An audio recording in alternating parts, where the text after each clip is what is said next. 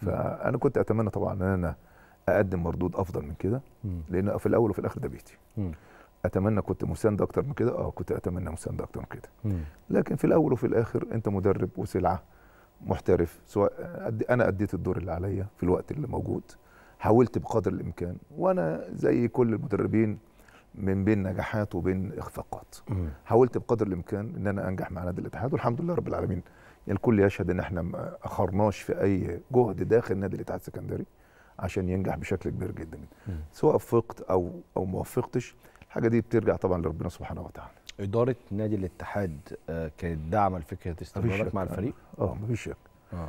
آه، إدارة نادي الاتحاد أنا تربطني طبعا بالأستاذ محمد صلحي يعني علاقة أخوية بشكل كبير جدا.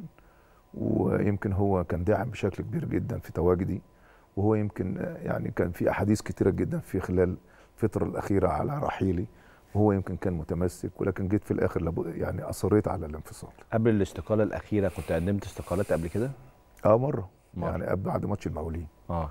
وهو أصر إن أتواجد وحتى يعني هو قال لي أنا ذات نفسي بتعرض لل لل- للإهانات. أنت زعلت لما الجمهور بشكل مباشر آه، طبعا. آه، أساء طبعا. ليك ده زعلك؟ طبعا زعلني كتير جدا. آه بيزعلك الجمهور اللي بيسيء في من المدرجات أكتر ولا اللي موجود على السوشيال ميديا؟ لا أنا بحطش دماغي في السوشيال ميديا. آه. لأن أنا لو حطيت دماغي في السوشيال ميديا هفشل. آه تفشل. لكن لما يبقى كده الجمهور في المدرجات عين في عين ما ينفعش. آه. آه وللاسف يعني. آه تأثرت بيها. زعلت زعلت كتير جدا يعني.